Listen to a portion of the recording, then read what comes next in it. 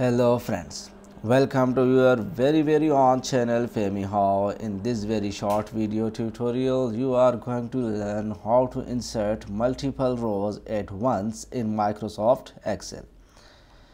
Friends, you can see a sample data on your screen. There are so many rows in this data. Now I want to insert some rows after this row after fifth row. I want to insert for example 10 rows.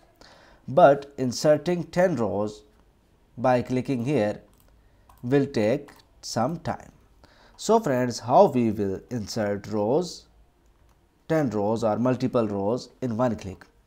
Friends to insert multiple rows or to insert more than 5 or 1 rows in one click simply select the rows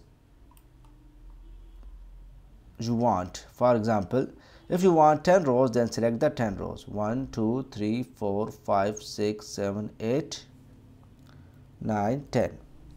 Now, friends, simply press the right click of your mouse, then click Insert and then click Shift Cells down, click OK. You can see 10 rows has been automatically inserted. So friends, I hope you have learned how to insert multiple rows at once in Microsoft Excel. If my video helps you in any way, please subscribe my channel and hit the like button. Thanks for watching. Thanks for your time. Take care. Goodbye.